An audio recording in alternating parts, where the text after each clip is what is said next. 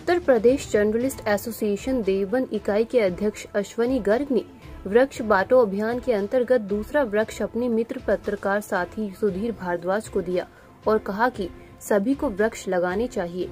वृक्ष हमें ऑक्सीजन और जीवन देते हैं। उन्होंने कहा कि प्रशासनिक अधिकारियों से लेकर आम व्यक्ति को भी वृक्ष लगाने चाहिए। जीवन को स्वस्थ रखने का एक ही तरीका है केवल वृक्ष। वृक्ष होंगे तभी हवा चलेगी। वृक्ष होंगे तभी पृथ्वी पर ठंडक रहेगी।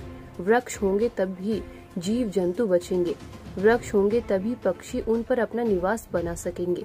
बिना वृक्ष के जीवन व्यर्थ है। उन्होंने कहा कि 50 पेड़ पूरे होने के बाद 20 वृक्ष नीम के लगाऊँगा और इस कड़ी को आगे बढ़ाता रहूँगा। इस अवसर पर मेहताब आज़ाद कयूम अली आसिफ सागर, अंकित तायल, असद सिद्दीकी आदि मौजूद रहे। रिपोर्ट अंकित जैन। ये सप्ताह चल रहा है वृक्ष रोपण के उसमें मैंने निर्णय लिया है कि मैं 50 पेड़ अपने मित्रों को बांटूँगा ताकि वो अपने घर में, अपने आँगन में ये पेड़ लगाएँ। कल मैंने वरिष्ठ पत्रकार जो हैं हमारे शहर के, जिन्हें हमने गुरु की उपाधि दी हुई है, आदरणीय गोविंद राम शर्मा जी को एक वृक्ष दिया था, उसी के तहत मेरे दूसरे पत्रकार साथी हैं और मुझे पत्रकारिता में लाने वाले सुधीर भारद्वाज जी, जो मेरे परम मित्र भी हैं, मेरे बचपन के सखा हैं छोटे से थे हम, जब से हमारे सखा हैं, आज मैंने दूसरा पेड़ इनको दिया है, ताकि ये अपने आँगन में उस पेड़ को लगाएँ और वो पेड़ हरा भरा होकर इनके पूरे परिवार पर अपनी छाँव, अपनी कृपा दृष्टि बनाएँ।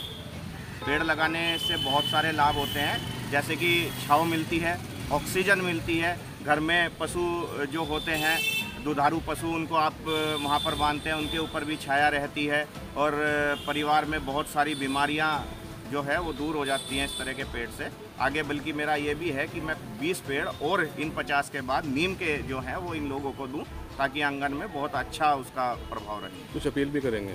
अपील यही है कि हर व्यक्ति को पेड़ अपने आँगन में लगाने चाहिए। मैं सभी आम जनता से और प्रशासनिक अधिकारियों तक से यही अपील करूँगा कि सभी जितने अधिक से अधिक वृक्ष जो आदरणीय मुख्यमंत्री जी ने भी कहा है कि वृक्ष लगाएँ। वृक्ष लगाने से आपको कल कागज़ भी, लकड़ी भी सब पैदा होगी उस चीज़ से। वृक्ष है तो हमारी जान है, वृक्ष नहीं है तो हम बेकार है, बेजान है।